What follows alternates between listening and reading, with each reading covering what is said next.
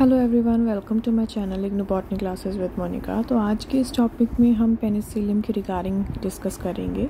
Penicillium के introduction के बारे में स्ट्रक्चर के बारे में रिप्रोडक्शन के बारे में एंड लाइफ साइकिल के बारे में with the help of diagram हम स्टडी करेंगे।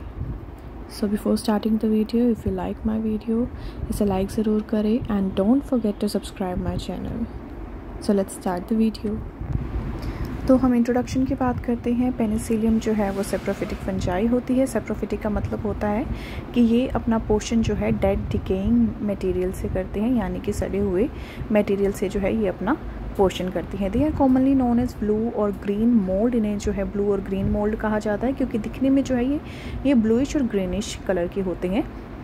They are economically important for the production of cheese organic acid and antibiotics ये जो है प्रोडक्शन करने में यूज़ होते हैं चीज़ का ऑर्गेनिक एसिड और एंटीबायोटिक्स का। They play an important role as a decomposer in the ecosystem ये एज अ डीकम्पोजर होते हैं यूज़ होते हैं। डीकम्पोजर वो होते हैं जो ऑर्गेनिक मटेरियल का और ब्रेक डाउन करते हैं।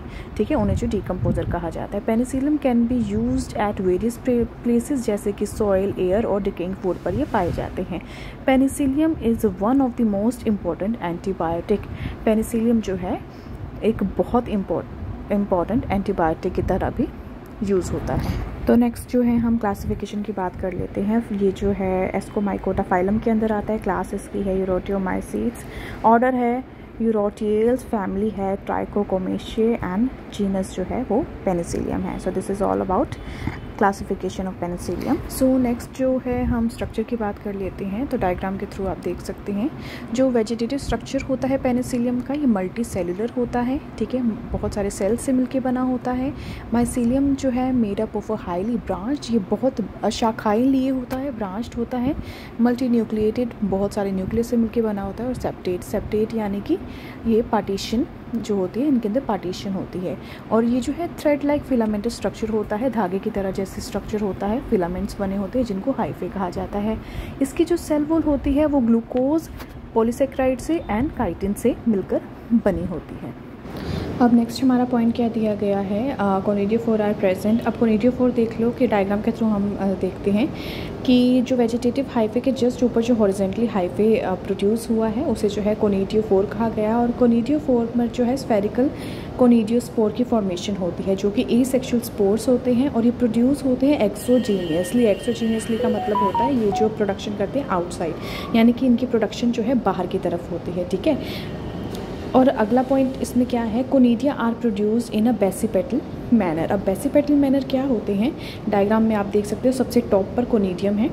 तो ये क्या होते हैं? ये बेसीपेटल मैनर की तरह जो है, अपने आप को प्रोड्यूस करते हैं। बेसीपेटल मैनर क्या होता है? जो यंगर जो कोनीडियम होंगे, वो बेस की तरफ़ प्रेजेंट होकर और जो ओल्डर वन है, वो ऊपर की तरफ़ ग्रो करे जाएँगे, ठीक है? तो ये क्या होते हैं, जो यंगर कोनीडियम बनता है, वो ओल्डर वन को पुश कर कर जो है, जैसे चेन होती है ना चेन लाइक अपेयरेंस होती है, आप कोनीडियम डायग्राम में देख सकते हैं सबसे टॉप पे।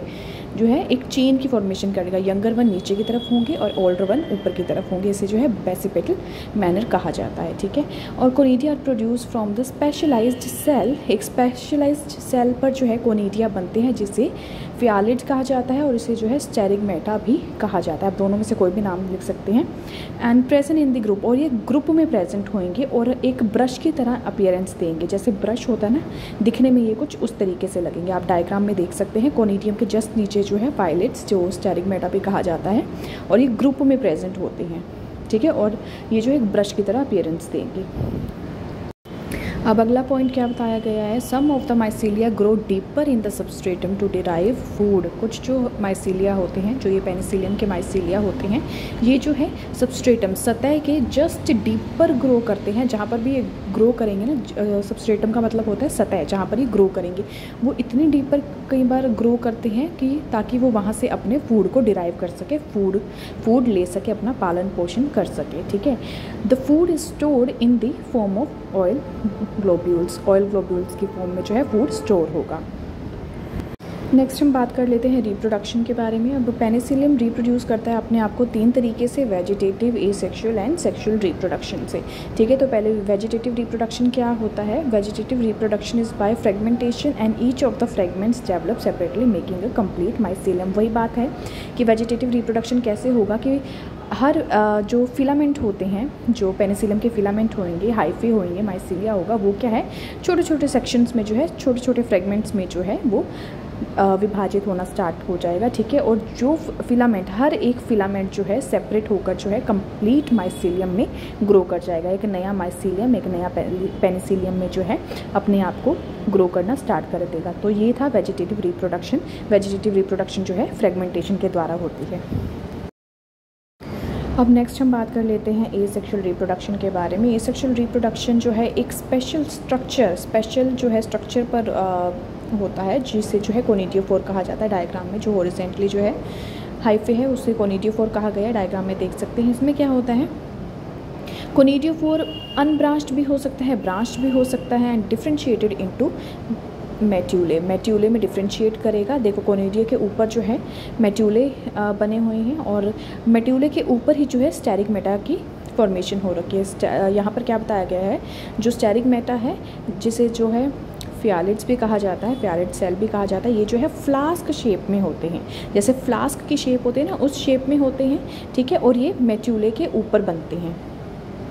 ठीक है विच फॉर्म कोनीडिया और फिर जो है ये फॉर्मेशन करेंगे कोनीडिया की, जो फ्यालिड सेल्स होते हैं, जिसे स्टेरिक मेटा सेल भी कहा जाता है, वो माइटोटिकली अपने आप को डिवाइड करेंगे और कोनीडियम की फॉर्मेशन करेंगे। ये जो सेल्स होते हैं अगेन डिवाइड करते हैं, अपने आप को डिवाइड करते रहते हैं और जो और जो ओल्डर जो ओल्डर कोनीडियम होता है, उसे जो है ऊपर की तरफ़ पुश कर देते हैं, ठीक है? और जो यंगर कोनीडियम है, वो बेस की तरफ़ जो है अपने आप को ग्रो करना स्टार्ट कर देते हैं और इस प्रोसेस को जो है बेसिपेटल वेसिपेटल मैनर कहा जाता है, ठीक है? अब जैसे डायग्राम में देख सकते हो जो कोनेडियम जो है एक चेन की तरह बना हुआ है, यानी कि यंगर जो है बेस से बेस से डेवलप करेंगे और जो पुराने जो कोनेडियम होंगे, वो ऊपर की तरफ़, यानी कि यंगर वन पुश कर देंगे, ठीक है? अपने पुश करेंगे ओल्डर वन को और फिर जो है यंगर वन जो है ओल्डर की जगह ले लेंगे और चेन की फॉर्मेशन जैसे चेन होती है ना, उस तरीके से अपने आप की फॉर्मेशन करेंगे।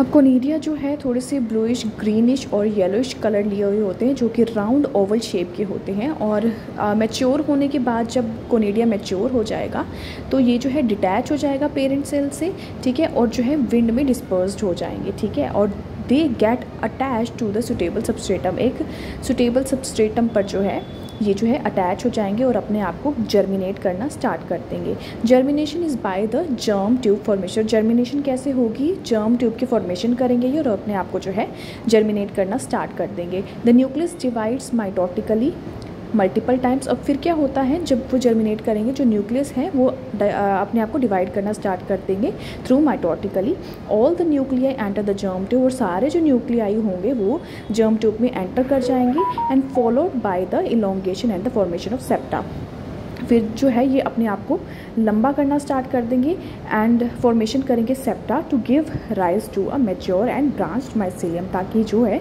वो फॉर्मेशन कर सके मेच्योर और ब्रांच्ड माइसीलियम को एक नया जो है माइसीलियम ग्रो कर सके, एक नया पेनिसिलियम जो है ग्रो कर सके। अब ये सेक्शुअल रिप्रोडक्शन का जो है लाइफ साइकिल के थ्रू समझते हैं डायग्राम के थ्रू समझते हैं, यहाँ पर क्या है? यहाँ मैं देख सकते हैं मेच्योर पेनिसिलियम है कॉनीडियम की फॉर्मेशन हो चुकी है। कॉनीडियम जो मैच्योर कॉनीडियम जो है वो विंड के थ्रू डिस्पर्स आउट हो गई हैं।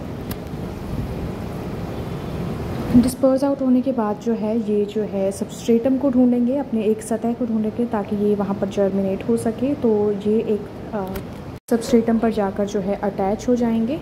सबस्ट्रेटम पर अटैच होने के बाद ये अपने आप को जो है जर्मिनेट करना स्टार्ट कर देंगे थ्रू जर्म ट्यूब ये जर्म ट्यूब की फॉर्मेशन कर देंगे और जर्म ट्यूब की फॉर्मेशन होने के बाद जो है माइटोटिकली अपने आप को डिवाइड करेगा और जो जितने भी न्यूक्लियाई है वो जर्म ट्यूब की तरफ़ एंटर करना स्टार्ट कर देंगे जर्म ट्यूब एंटर हो जाएगी. सॉरी इलोंगेट होनी स्टार्ट हो जाएगी एंड सेप्टा की फॉर्मेशन होनी स्टार्ट हो जाएगी एंड आफ्टर दैट जो है, ये जो है वेजिटेटिव माइसिलियम यानी कि एक न्यू माइसिलियम में जो है अपने आप को ग्रो करना स्टार्ट कर देगा। So this is all about a sexual reproduction I hope कि डायग्राम के थ्रू आपको समझ आ गया होगा। अब नेक्स्ट हम बात कर लेते हैं सेक्शुअल रिप्रोडक्शन के बारे में। सेक्सुअल रिप्रोडक्शन होता है by the formation of ascospores कुछ स्पीसीज जो होती है पेनिसिलियम की वो होमोथैलिक होती हैं और कुछ जो होती हैं वो हेट्रोथैलिक होती हैं। होमोथैलिक का मतलब होता है जहाँ जहाँ पर मेल और फीमेल सेक्स ऑर्गन जो है सेम थैलस पर प्रेजेंट होते हैं। वहीं हेट्रोथैलिक का मतलब होता है जहाँ पर मेल और फीमेल सेक्स ऑर्गन जो है डिफरेंट थैलस पर प्रेजेंट होते हैं। मेल सेक्स ऑर्गन जो है उसे एंथ्रीडियम कहा जाता है। वहीं फीमेल सेक्स ऑर्गन को जो है एस्कोगोनियम कहा जाता है। One of the cell of the vegetative mycelium एक जो सेल होता है वेजिटेटिव माइसिलियम का, वही डेवलपमेंट करता है एस्कोगोनियम की, यानी कि फीमेल सेक्स ऑर्गन को जो है, वो डेवलप करता है। जो कि यूनिसेलुलर होता है और सिंगल न्यूक्लियस उसके अंदर प्रेजेंट होता है। जो न्यूक्लियस होता है एस्कोगोनियम का, वो डिवाइड करना स्टार्ट कर देता है अपने आप को और प्रोड्यूस करता है 32 से 64 न्यूक्लियाई अब धीरे धीरे क्या होगा? जिस ब्रांच पर, जिस हाइफे पर जो है एंथ्रीडियम होगा, यानी कि मेल सेक्स ऑर्गन होगा, वो वो एस्कोगोनियम के चारों ओर जो है कोलाइड करना स्टार्ट कर देगा और जो एंथ्रीडियम होगा, उसके पास सिंगल न्यूक्लियस प्रेजेंट होगा। After maturation antheridium bends and touch the ascogonial wall जैसे ही मैच्योर होगा एंथ्रीडियम वो हल्का सा बेंड हो जाएगा और एस्कोगोनियल वॉल को टच करके जो है, उसके साथ जो है, एक कॉन्टेक्ट बना लेगा, यानी कि जो उसकी एस्कोगोनियल की जो वॉल होगी, वो उसे किसी इंजाइम के थ्रू जो है डिज़ोल्व करना स्टार्ट कर देगा, जिसके द्वारा जो है साइटोप्लाज्म जो होगा एंथ्रीडियम का साइटोप्लाज्म और एस्कोगोनियम का साइटोप्लाज्म जो है, वो आपस में इंटरमिक्स हो जाएँगे, ठीक है? और इस प्रोसेस को जो है प्लाज्मोगेमी कहा जाता है। साइटोप्लाज्म के इंटरमिक्स होने के बाद जो है, जो एंथ्रीडियम का न्यूक्लियस है, वो भी जो है शिफ्ट कर जाएगा एस्कोगोनियल के अंदर। तो ये क्या करेगा? डाइकैरियोटिक स्टेज की फॉर्मेशन करेगा, यानी कि टू एन न्यूक्लियाई जो है, ये बनाना स्टार्ट कर देगा। यहाँ पर जो न्यूक्लियस होगा, वो एक होगा एंथ्रीडियम का और दूसरा होगा एस्कोगोनियम का। इसीलिए जो है इसे two nuclei n plus n nuclei represent करेंगे। आफ्टर दैट एस्कोगोनियम जो है, अपनी वॉल्स को जो है रेपिटेडली डिवाइड करना स्टार्ट करेंगे और फॉर्मेशन करेंगे बाई न्यूक्लिएटेड सेल्स की। यानी कि एक सेल के अंदर जो है दो न्यूक्लियस प्रेजेंट होंगे, एक एस्कोगोनियम का और दूसरा जो है एंथ्रीडियम का, ठीक है? और ये अपने आप को अरेंज करना स्टार्ट कर देंगे, एक के ऊपर एक। जो टर्मिनल डाइकैरियोटिक सेल होगा, वो स्वेलअप हो जाएगा और एस्को एस्कस मदर्स को सेल की जो है फॉर्मेशन करनी स्टार्ट कर देगा। अगला क्या बताया है? कैरियोगेमी कैरियोगेमी जो होता है, फ्यूज़न होते हैं टू न्यूक्लियस की, वो अकर हो जाएगा सेल में और वो किसकी फॉर्मेशन करेगा? टू एन, यानी कि डिप्लॉयड सेल्स की जो है फॉर्मेशन करना स्टार्ट कर देगा। कैरियोगेमी का मतलब होता है जब वो फ्यूज़न करेगा दो न्यूक्लियाई की। फ्यूज़न के बाद जो डिप्लॉयड जाइकोट बनेगा, वो माइटोसिस के द्वारा जो है फॉर्मेशन करेगा आठ न्यूक्लियाई की। फिर जो है आफ्टर एक्यूमुलेशन ये जो है फॉर्मेशन करेगा आठ एस्कोस्पोर्स की।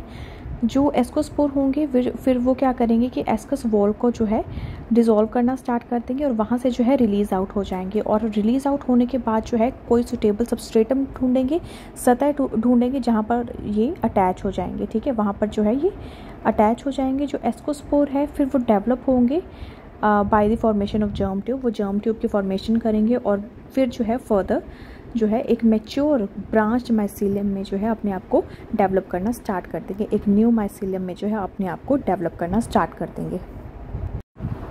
अब डायग्राम के थ्रू समझते हैं, ये जो वेजिटेटिव माइसिलियम आप देख सकते हैं, वहाँ पर जो है फिर यंग एस्कोगोनियम की डेवलपमेंट होनी स्टार्ट हो जाएगी। यंग एस्कोगोनियम के पास सिंगल न्यूक्लियस प्रेजेंट होगा। आफ्टर दैट जो है ये अपने आप को रेपिडली डिवाइड करना स्टार्ट करेगा और 32 से 64 जो है न्यूक्लिया की फॉर्मेशन करनी स्टार्ट कर देगा। एस्कोगोनियम इलोंगेट हो जाएगा। इलोंगेट होने के बाद जो है एंथ्रीडियल ब्रांच जो होगी, जो कि मेल सेक्स ऑर्गन है, उसके पास भी सिंगल न्यूक्लियस प्रेजेंट होता है, वो क्या करेगा कोलाइड करना स्टार्ट करता है एस्कोगोनियम में। ठीक है after that with the help of the enzyme ये जो है एस्कोगोनियम की वॉल को जो है डिजोल्व कर देगा। डिज़ोल्व होने के बाद जो है, जो न्यूक्लियस होगा सॉरी जो साइटोप्लाज्म है, वो जो है इंटरमिक्स हो जाएगा। इंटरमिक्स होने के बाद जो है न्यूक्लियस भी इंटरमिक्स हो जाएगा उसके अंदर फिर फिर जो है ये डाइकैरियोटिक फ़ेज़ को जो है ये फॉलो करेगा। डाइकैरियोटिक फ़ेज़ वो होती है जहाँ पर एक न्यूक्लियस जो होता है वो एस्कोगोनियम का होगा और एक न्यूक्लियस जो है एंथ्रीडियम का होगा और वो जो है सेप, आ, सेप्टा के थ्रू जो है वो डिवाइड करना स्टार्ट कर देगा अपने आप को। फर्दर जो टर्मिनल डाइकैरियोटिक सेल होगा वो स्वेलअप हो जाएगा और एस्कस मदर स्पोर की जो फॉर्मेशन करनी स्टार्ट कर देगा।